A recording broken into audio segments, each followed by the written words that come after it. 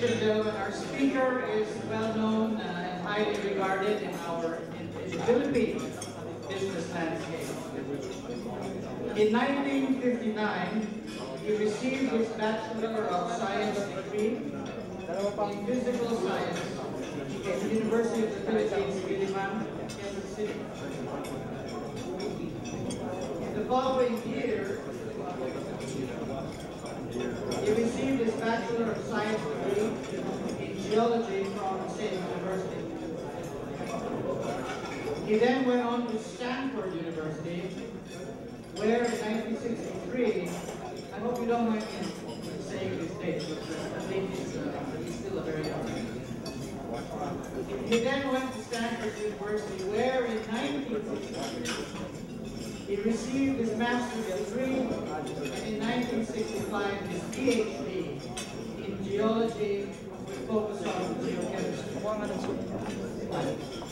He is also a candidate of, uh, for a degree of the Master's of Business Economics at the University of Asia His numerous business roles, this reads like a chapter in the Bible, the Bible of the mining industry. I'm sure he's written many chapters himself.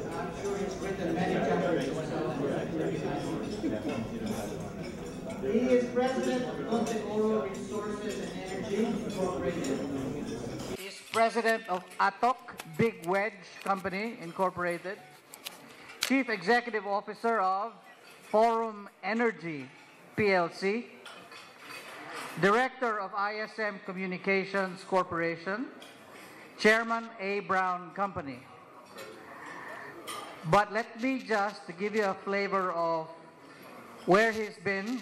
Also, let you know what his past positions were.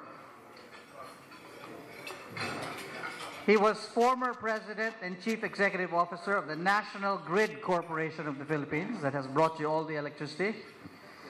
He was also formerly associated with the following listed companies, either as a director or as its president. Philex Mining Corporation, Philex Gold, Philex Petroleum, Philippine Realty and Holdings Corporation, Philodrill Corporation, Petro Energy Resources Corporation, Dominion Asia Equities Incorporated, Palawan Oil and Gas Exploration, Seven Seas Oil Company, Universal Petroleum, Sinofil Corporation, Asian Petroleum Corporation, Acoje Mining Corporation, Semirara Coal Corporation, Surigao Consolidated Mining or Suricon, Vulcan Industrial and Mining Corporation, San Jose Oil, Seafront Petroleum, and Basic Petroleum. Get my drift? He was also technical director of Dragon Oil PLC, a company that was listed that is listed in the London Stock Exchange. He is also chairman of various non-listed corporations.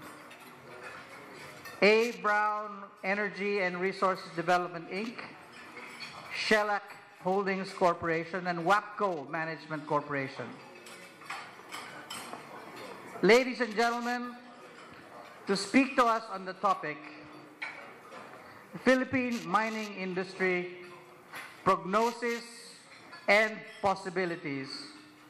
It is my honor to present a highly regarded member of our business community, a respected leader in the energy and mining sectors, my friend, Dr. Walter Brown. Well, ladies and gentlemen, honored guests, let me thank, begin by thanking the organizers for this opportunity of speaking before such a distinguished group of people in the mining industry. But first of all, let me explain two things. One, I have a junior author here who actually has done 80% of, or 90% of the work, Jun Yumul here. And I brought him in to help work this thing out because he was instrumental in the early stages of forming EO 79. No? So he can, he gave me a, a background which I will use in the talk so that we can understand where the government is coming from. No? Because one of the things that's essential in order to deal with the problem which we face today is to understand the opposition, where it came from, what its motivations are.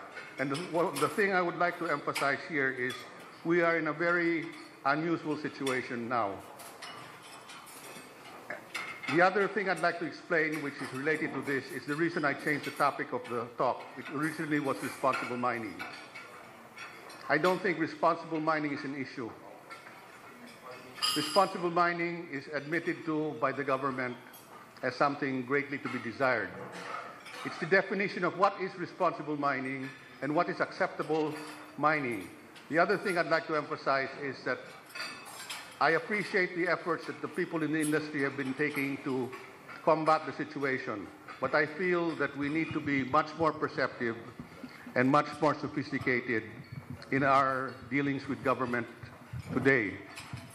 If you want to ask me the prognosis of the Philippine mining industry, as of this day, all new projects are dead. Is there any hope of survival, of, of new applications being approved? I would say you will have to wait for at least three years. Then you not only have to wait for at least three years, you're going to have to do a lot of work, and I'd like to spend a great deal of my talk on the account, what work you have to do. But it's got to be from a different perspective. We cannot go forward on the basis that our opposition are a bunch of ignorant, ill-informed, unrealistic people. And I'll tell you why I can say that. As one of my activities, which wasn't mentioned, I am on the, I'm vice chairman of the Board of Trustees of Xavier University in Cagayan de Oro, which is part of the Ateneo system.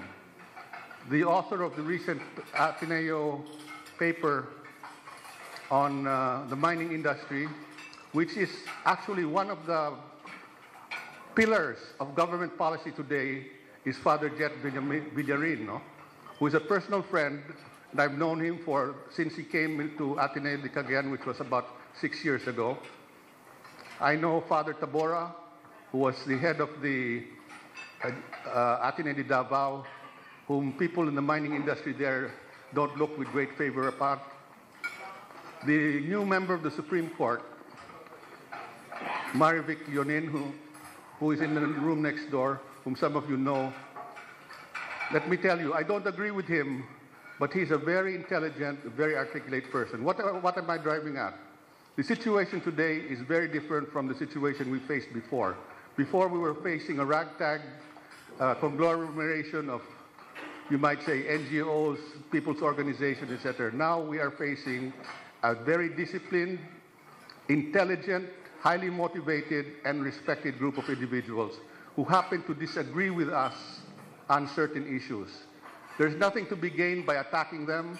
There's nothing to be gained by saying that, they that if we don't use metals, uh, we can't have any, any of the finer things of life. They all know that. But they also know that it is not essential that these, all of these be derived from the Philippines. Also, the statement that the Philippines economy will collapse if we don't uh, encourage mining is, is no longer true because we have reached a level of economic development where there is, it's a matter of choice. It's true, and I agree, that the Philippine mining industry can be the bulwark of the progress of the future and, will, and should be. I mean, I'm fully on board with you guys on that. But to insist that things will fall apart, nothing will happen if it's not developed, is not true. It's a matter of choice. And the Philippines will survive because of its other resources. So we have to go on the basis of certain things which will come, become apparent as we go through the talk. Now, I've gone through the, I've gone through the, can we have the next slide please? No.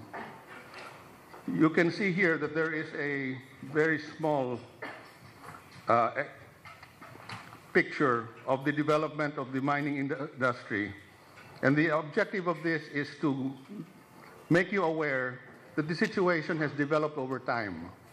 In the early days of martial law, where we had the small-scale mining act, the mining act, and even after martial law, well, during martial law days, there was no problem. We had a highly centralized government.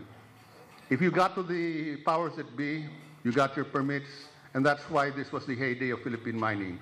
In the period after that, you had a hiatus of, of low metal prices and very, what do you call it, very negative ideas.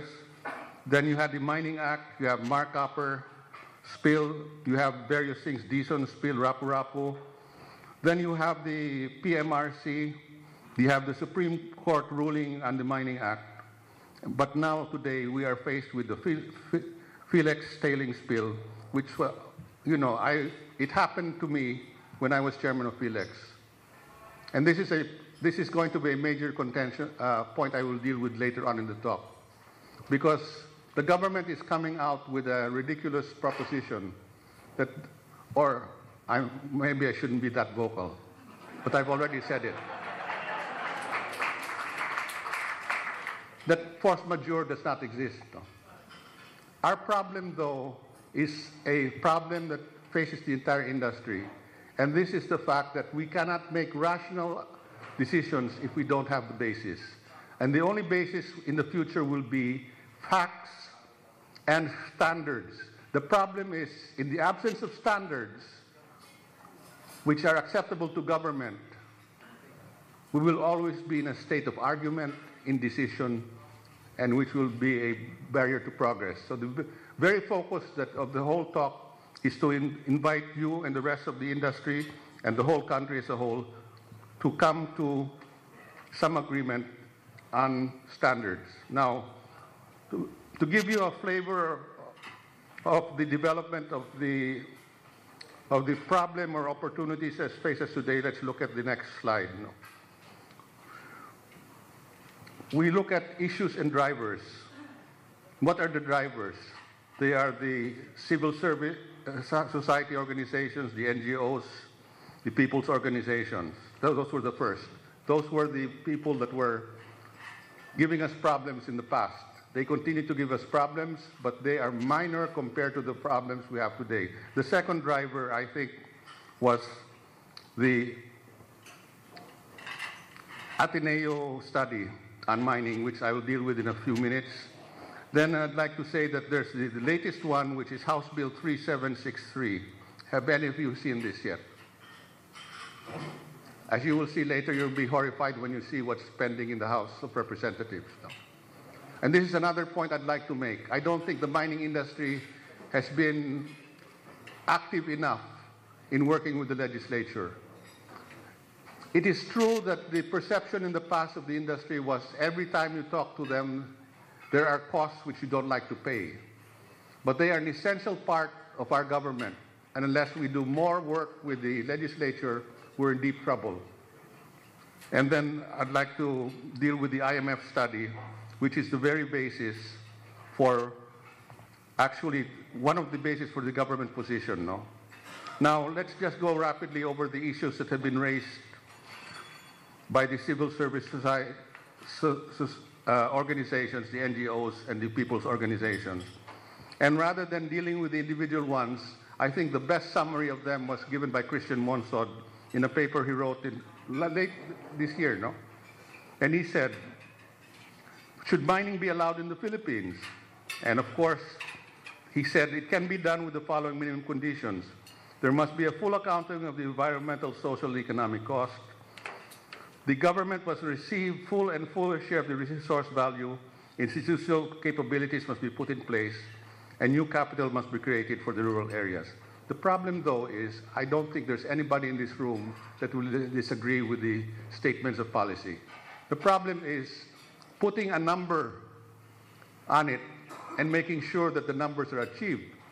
And that's the problem that we face today.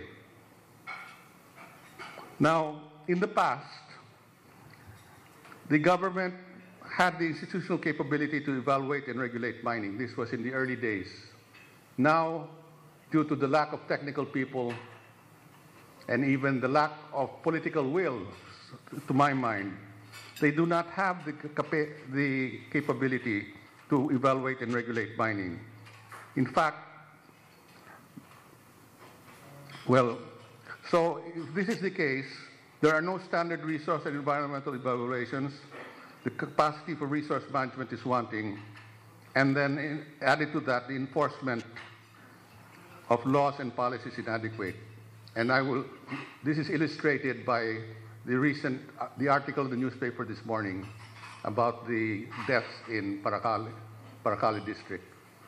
This is a good example of the situation which faces us today, faces the government, and the government so far has not shown its capability of dealing adequately with the issues.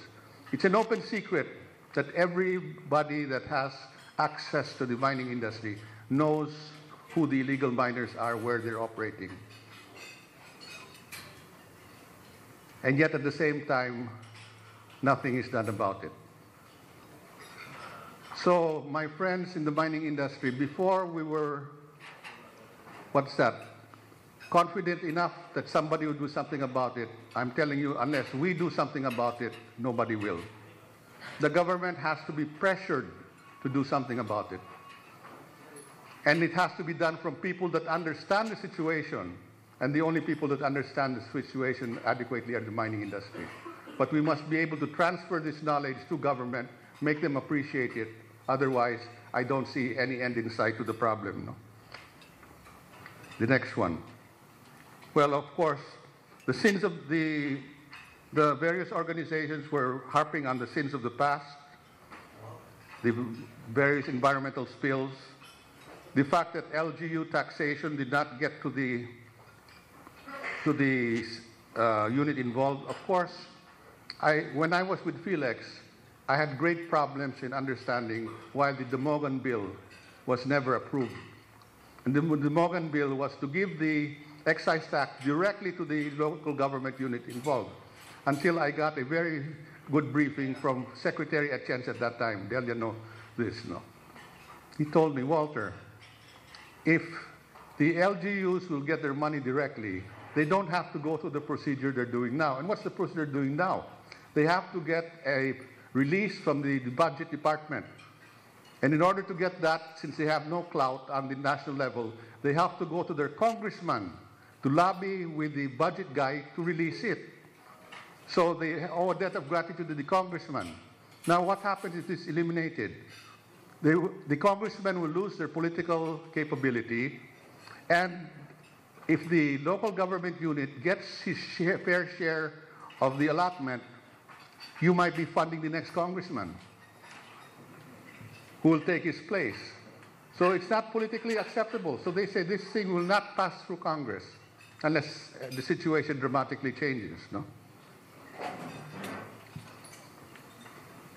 Now, the Ateneo School of Government Policy paper is another thing. Again, I know the people that wrote this. I sit on the board of this with Tony La Viña, Father Tabora, Father Jet Villarin. He's not, he's not in Ateneo now, so I no longer see him. But these are honest, sincere, dedicated people. If you look at the, the issues that they send up, they send up issues on land use, distribution of benefits, compensation, etc., cost of small-scale mining. And these documents are available to everybody. And I would say that if you want to understand their motivations, you read the papers. Because if you don't understand where they're coming from, it's hard to deal with them effectively. And you will appreciate the fact that you're dealing with earnest people that disagree with you. So what do we do? We find the basis for the disagreement and we address it at this. We don't say that they don't understand the industry. We don't say that they don't know what they're doing. We say, where do we disagree? And let's discuss it and let's, let me show you effectively what's wrong with your reasoning and why my, our reasoning is better than theirs. No? So, the ne next, responsible mining. Next one, what the government should be doing, define policy, etc. The problem here is that I don't think anybody in this room disagrees with any of the observations that have been made by Ateneo. Where we disagree with is the solution that they gave. And the solution they gave is, is they feel that the government lacks the capacity to define and regulate. Things should be brought to a standstill. And that's just what has happened. And the thing is, I'll tell you, this is a personal opinion. I do not represent any organization this, and this is shared by Dr. Yumul, that the president's pillar on which he bases it is this Ateneo paper. He knows the people involved. He knows that they're competent, intelligent people.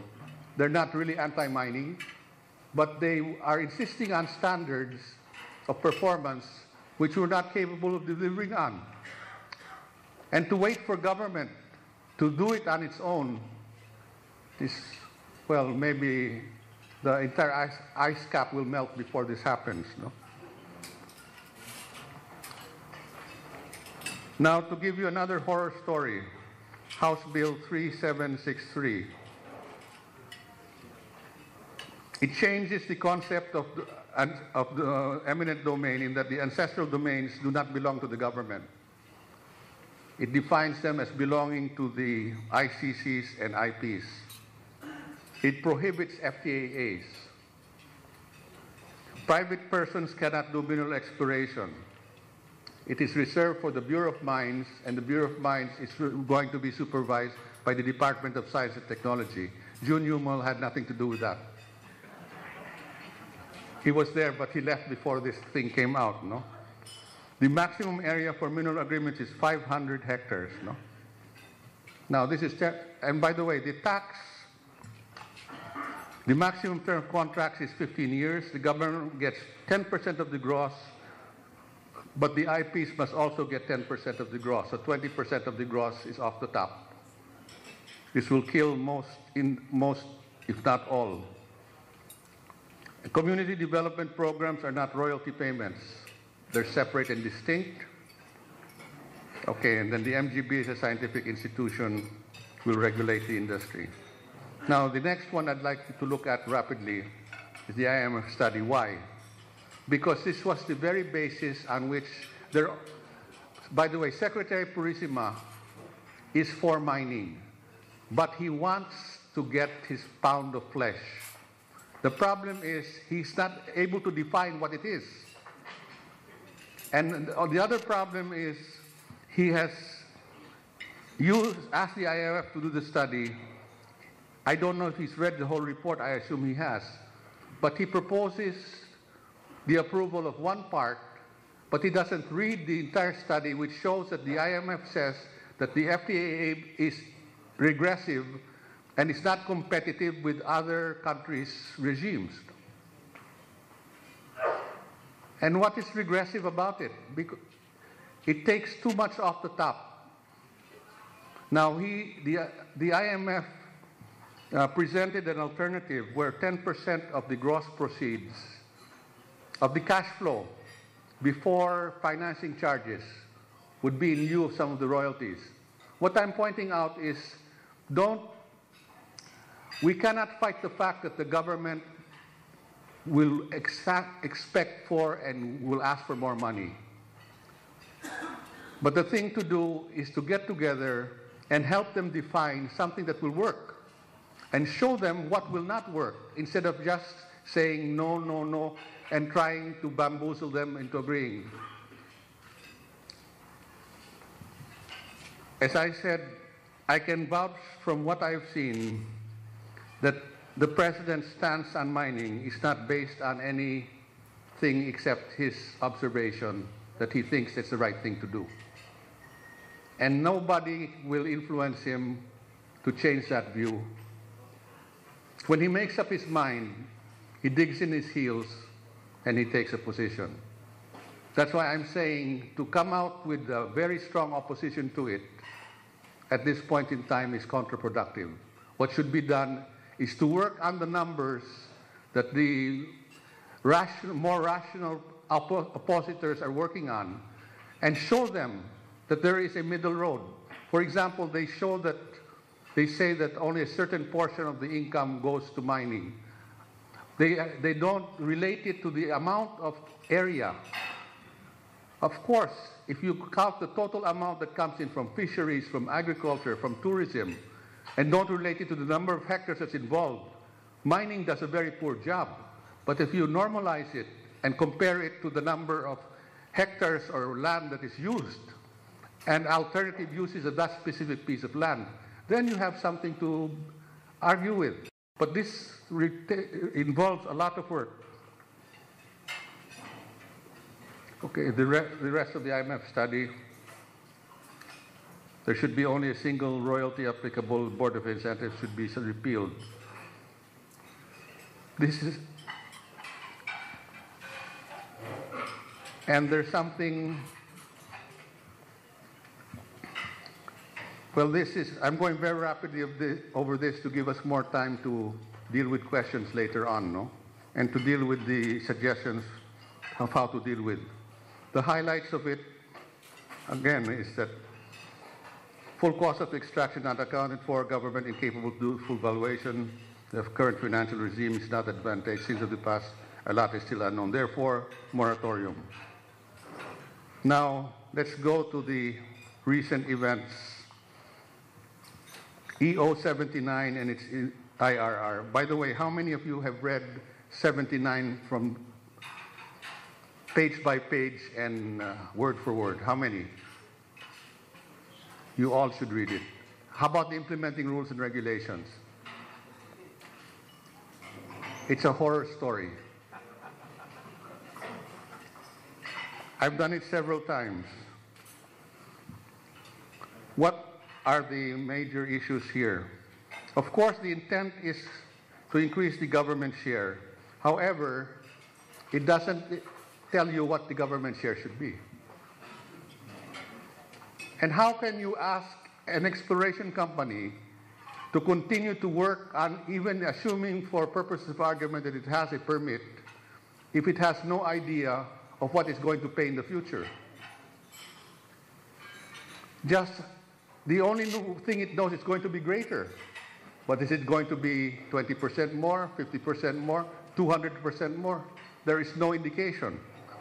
They should learn the fact that, which is common knowledge to most people, that the thing that businessmen can survive in any sort of regime if they know the rules. EO 79 applies the brakes but doesn't set the rules.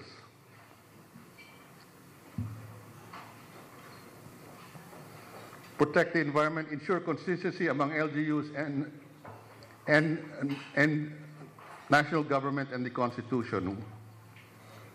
By the way, there are, I'm not a lawyer, but I've been told, and I agree to myself, that there are some essential constitutional problems that arise out of EO 79 and even the implementing rules and regulations. For, and the problem is, unless they're resolved, will you, as representatives, let's say, of any major mining company, be it local or start a, a project when you don't know what your taxation rates will be. If you have an MPS, if you have an existing MPSA, you're saying I'm safe. But if your MPSA is close to the 25th year, you don't know the normal procedure in the past, it would be approved. But it's true that there is no specific uh, wording in the law that says it will automatically be approved under the same terms and conditions upon agreement of both parties. So what's supposing if the government doesn't agree? I'm not enough of a lawyer to know if will the fact that so many years of precedence, but I think it's an open ground. I'm sure the case will go all the way to the Supreme Court. Who wants to start a mining project? And I think our friends in Goldfield should take a look at this to see what's going to happen and they should read the World Bank report. Now, another component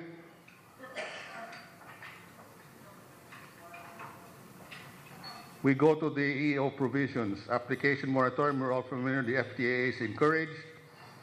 We're all, are, you're all familiar with the fact that the abandoned waste ownership eh, provision, that if you have a tailings and you're, you have tailings that were left there by somebody and you apply a new permit, you don't own the tailings. They belong to the state and you have to bid for it.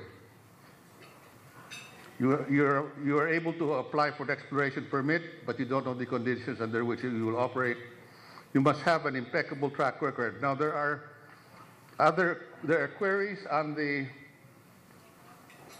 EO 79 pro- provisions, which I was in a forum with the Director of Mines, and he made the statement that he feels that not only the officers of the corporations that violate environmental rules can be sued, but also the shareholders. He said that in a forum, there were about 100 people in the room. Can you imagine what this would do?